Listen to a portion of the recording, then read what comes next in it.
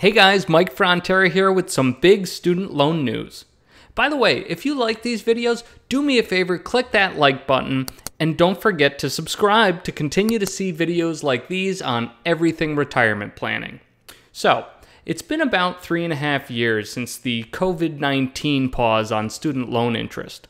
And this month, the meter finally begins running again, with the first payments due in October.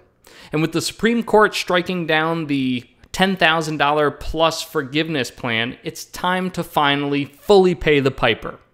Well, not so fast. A new income driven repayment program called SAVE was recently enacted by the Department of Education.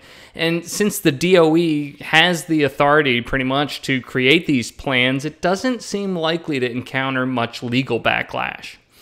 And the amount of forgiveness under SAVE can often be bigger than that one time cancellation that was previously struck down.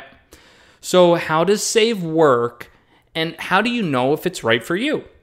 So, SAVE, or Saving on a Valuable Education, is designed to replace some of the other income driven plans already in place. So, let's check out the highlights. So with SAVE, you'll only be required to pay 10% of your discretionary income each year.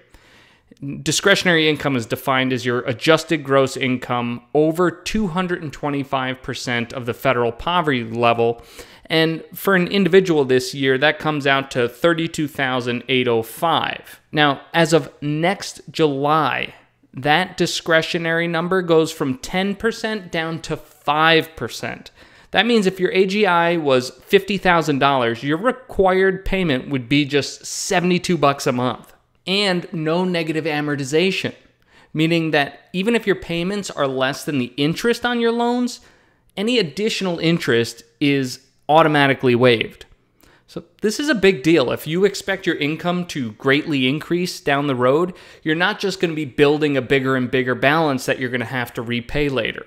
Also effective next July, if your original balance was $12,000 or less, you can receive full forgiveness on any balance that is left over after 10 years. Now, for every $1,000 over $12,000 balance, you add one year for full forgiveness, up to a maximum of 20 years or 25 years if any of those loans were for graduate school. Okay, a couple quick caveats. So, you must recertify your income each year to recalculate your required payment. But now the government will even recertify automatically for you as long as you give them access to your tax returns. And speaking of taxes, you should expect to be taxed on any forgiven loan balance at the end. Now, of course, if you get forgiveness under the public service program, that forgiven balance could also be tax free. So, is SAVE the best plan for you? Well, for many borrowers, it will be.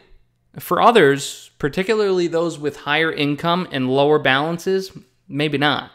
So, it's always best to check it out for yourself.